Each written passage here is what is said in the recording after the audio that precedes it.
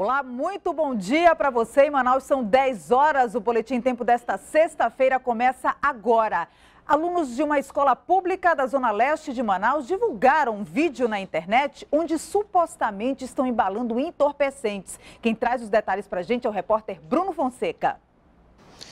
Olá Mariana, muito bom dia. Bom dia a você que nos assiste no Boletim em Tempo. Pois é, ontem por volta das nove e meia da noite, uma transmissão ao vivo feita pelo Facebook supostamente aí por alunos da escola Vasco Vasques, aqui do Jorge Teixeira, na zona leste de Manaus, mostrava os estudantes dentro de uma sala de aula embalando supostamente entorpecentes caracterizados aí como maconha e cocaína. Depois do vídeo divulgado, a polícia esteve aqui no local, viu alguns alunos que ainda estavam aqui na frente e eles alegaram que tudo aí não se passava de uma brincadeira. Na, na data de ontem, eles foram liberados às 20h30. Quando nós chegamos lá, já não tinha mais ninguém, só tinha um vigia. Depois foi feito contato com alguns alunos que se encontravam na porta da escola, os mesmos disseram que eram brincadeira de aluno. Mas o capitão Henriques e já se encontra agora na, é, em contato com a diretora da Vasco Vasques para identificar os alunos. A polícia também esteve aqui pela parte da manhã para tentar localizar aí os alunos que aparecem no vídeo e eles vão ter que prestar esclarecimentos para saber a procedência do conteúdo exibido. Bruno Fonseca para o Boletim Tempo. Obrigada, Bruno, pelas informações. A polícia prendeu ontem um dos líderes do grupo criminoso composto por cinco elementos que cometeu um roubo em um sítio na BR-174. Cleiton Ferreira de Lima, de 25 anos, é acusado de ser o chefe de um grupo que assaltou um sítio no quilômetro 12 da BR-174.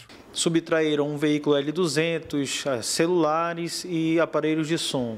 E durante o roubo, um estava um aqui, é o que está foragido, D'Angelo, com uma espingarda calibre 12 e o Clayton estava contestado que colocava no pescoço da vítima, exigindo todos os, os, bens. A operação que resultou na prisão do Clayton aconteceu por volta das 11 horas da manhã. Ele estava em casa na comunidade São Francisco, no bairro Tarumã. Outros quatro envolvidos nesse crime ainda estão sendo procurados e um já foi identificado. Um dos bandidos identificados é D'Angelo Guedes da Silva, de 29 anos.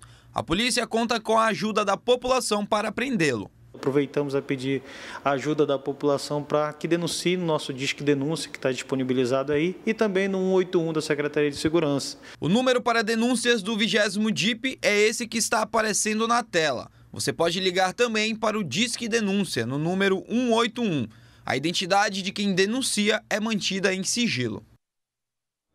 O prazo para os saques dos recursos do Fundo PIS-PASEP para quem tem a partir de 57 anos termina hoje. Os pagamentos serão retomados em agosto para os beneficiários de todas as idades. Tem direito a receber o PIS-PASEP quem trabalhou com carteira assinada na iniciativa privada ou foi servidor público civil ou militar entre os anos de 1971 e 1988. A Caixa Econômica Federal é responsável pelo pagamento dos recursos do PIS e o Banco do Brasil é responsável pelo pagamento dos recursos do PASEP. Mais dois suspeitos de envolvimento em morte de sargento da PM foram presos ontem à noite. Um dos criminosos se entregou espontaneamente à polícia. O autor do disparo segue foragido. É isso mesmo, Bruno Fonseca? Bom dia, Mariana. Pois é, Antônio Carlos dos Santos Padilha, de 23 anos, foi preso na noite dessa quinta-feira por suspeita de envolvimento no assalto que causou a morte do sargento Ayub Carlos França de Araújo. Além dele, um outro homem identificado como Felipe de Carvalho e Silva, de 18 anos, se apresentou à polícia e alegou também ter participado aí da ação. A Polícia Militar informou que Antônio Carlos já estava sendo procurado e que foi localizado no início da noite dessa quinta em uma casa na comunidade Riacho Doce, na Cidade Nova, zona norte da capital.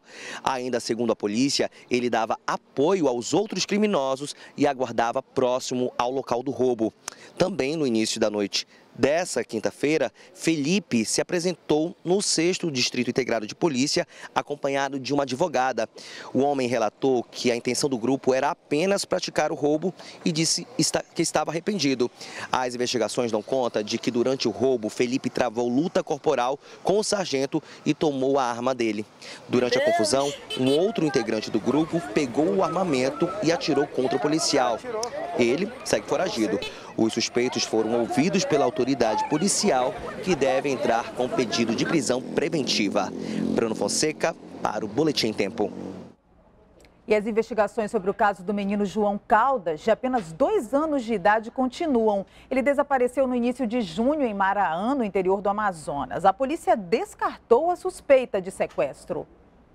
Depois do desaparecimento, a criança teria sido vista em Tefé, Testemunhas afirmaram que o pequeno estava em uma drogaria na companhia de um casal. Após encontrar a criança em Quari, nós retornamos a Tefé, refizemos todas as oitivas e todas as pessoas de Tefé reconheceram o menino de Quari como sendo a criança que eles confundiram com o menino desaparecido. Todos os endereços apurados, tanto em Tefé quanto em Quari, para onde uma suposta sequestradora teria levado a criança, foram descartados pela polícia.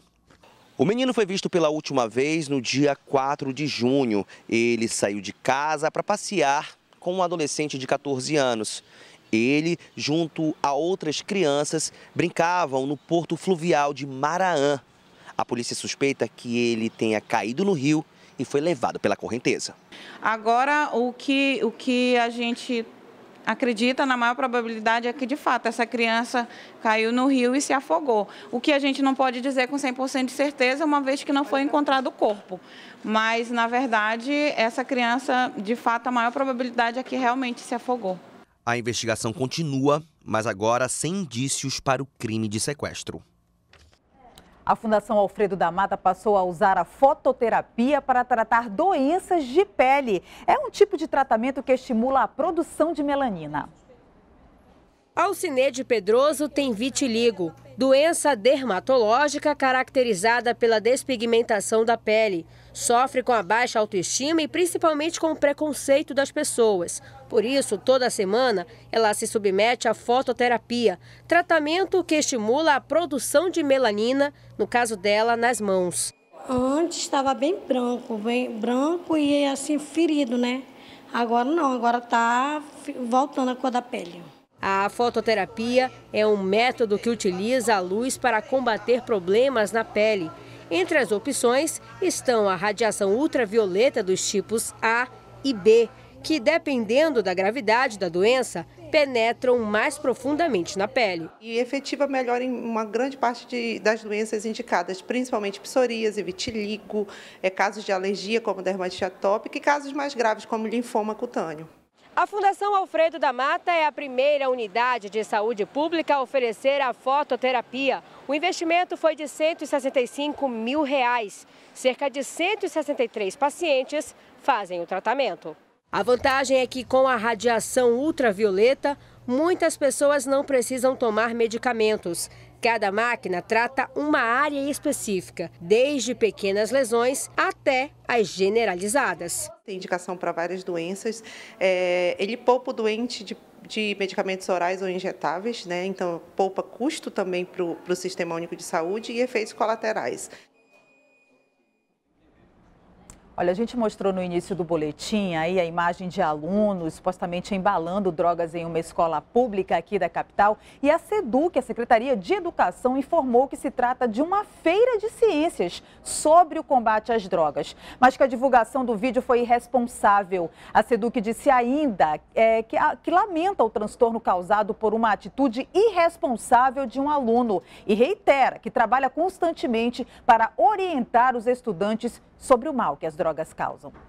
Daqui a pouquinho, às 10h50, tem programa Agora ao vivo. E a Marcinha Lasmar, é claro que já está preparada aqui no estúdio com muita coisa boa, né, Márcia? Quais são os destaques hoje do programa Agora? Muito bom dia para você. Bom dia, Mariana Rocha. Um ótimo dia para todos que estão acompanhando o nosso boletim em tempo. Realmente, hoje no nosso programa, a gente traz a ronda policial.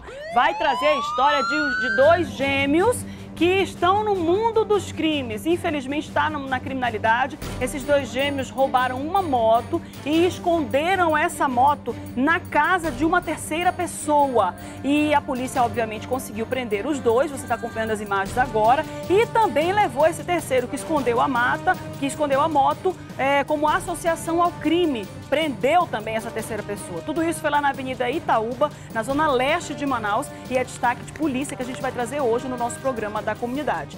Enquanto isso, lá na zona sul, no Distrito Industrial, a gente vai trazer para você mais um tombamento de carreta. Olha, tá ficando sério isso. A gente tra... Você está acompanhando as imagens agora aí, ó. Mais uma carreta tombou, a exemplo de outras duas que nós trouxemos também é, no início do mês uh, de junho, né? Que aconteceu ali na Efigênio Salles, na, na, no V8. E a gente está trazendo esses perigos, tem que reacender esse cuidado, essa cautela. Nós já tivemos casos de óbito no trânsito. Ali na General Rodrigo Otávio, em frente ao ataque já teve gente que morreu por causa de um tombamento de carreta. Na bola da Suframa mesmo, ali nas proximidades de onde essa carreta tombou, também já teve um outro caso de óbito no trânsito por causa de tombamento de carreta. Então tem que ser averiguado o que está acontecendo. É excesso de peso, mal colocação da carga, a carga está pesando mais de um lado, está solta dentro do, do container. Tem que saber o que é que está causando isso para evitar, é, além do transtorno no trânsito,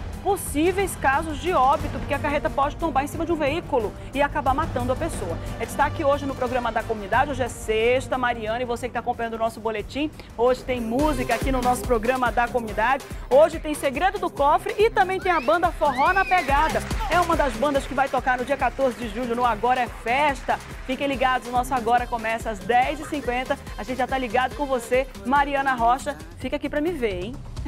Eu não vou perder não, Márcia. Até mais, viu? Até mais. O Boletim em Tempo desta sexta-feira termina aqui. Muito obrigada pela sua companhia e até a próxima.